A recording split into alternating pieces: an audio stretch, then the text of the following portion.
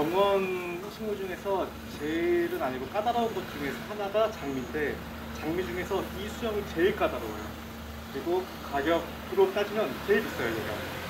근데 어, 많은 분들이 비싼 거를 사가지고 이렇게 저번에 딱 심었는데 1년, 2년 지났더니 어 다시 찔레가 됐어요. 뭐 접목해가지고 사, 그, 네달 지난 거거든요.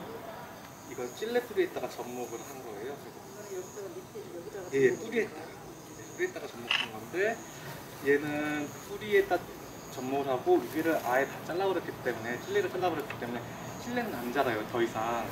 그래서 이런 애들은 관리가 편한데 얘는 이쪽 아래가 다 찔레라고 네, 생각하시면 네. 되니까 이 찔레에서 순이 나오는 걸 다 잘라줘야 돼요. 그래서 그것 때문에 어려운 겁니다.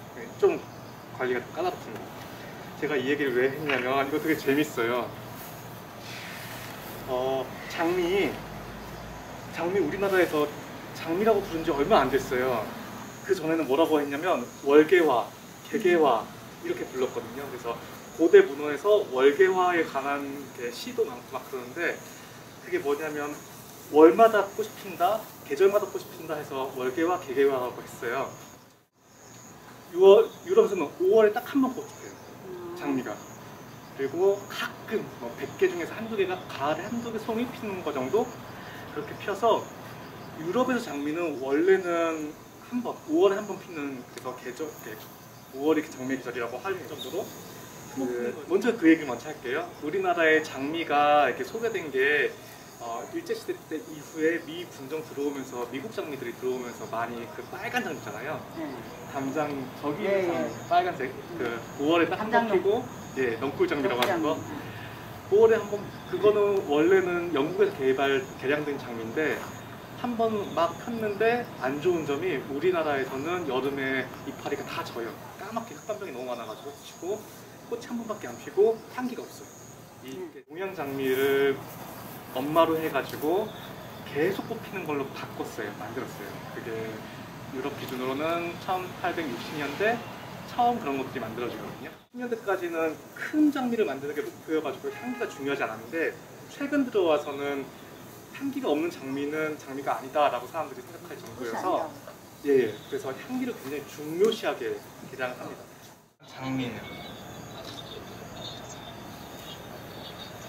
장미인데 접목할 때는 아무 가지나 접목하는 건 아니고 얘보다 꽃이 좀 더 펴가지고 훅 지려고 할 때 그때쯤에 가지가 제일 좋은데 그러면 여기 안에 심지 같은 게 있을 거예요. 이거를 띵 떼버려야 돼요. 우리가 필요한 거는 이 껍질거든요. 왜냐면 우리가 껍질만 돌려냈고 안에 목재로 돼 있던 부분을 해가지고 여기에 딱 끼면 완벽하게 저 울타리를 올라갈 수 있는 그 품종이 있다 그러면 더덕이나 이런 걸 심어놓으면 아침에 나오시면 향이 더덕 그 이파리 향이 이렇게 했을 때 어, 이게 뭐지 여기 왔는데 이렇게 허브나 이런 거보다 훨씬 진한 향을 심을 수 있는 이런 게 있다고 보면은 같이 이렇게 공유해서 심어놓으면은 아그 더덕 꽃 같은 경우는 왜참 이쁘게 핍니다. 같이 올라가도 더덕 꽃 자체가 이쁘게 피고 향도 많이 난다고 했는데 여기서 똥을 만들면서 집에서 이렇게 반려식물처럼 키우는 그런 걸로 요즘에 쓰더라고요.